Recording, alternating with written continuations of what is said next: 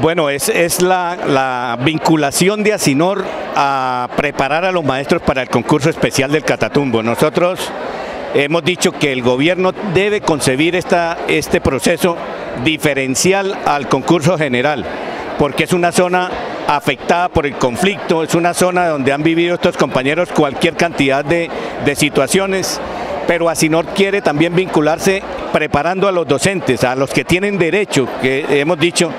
y el proceso de paz permitió la expedición de unas normas como el decreto 882, decreto ley,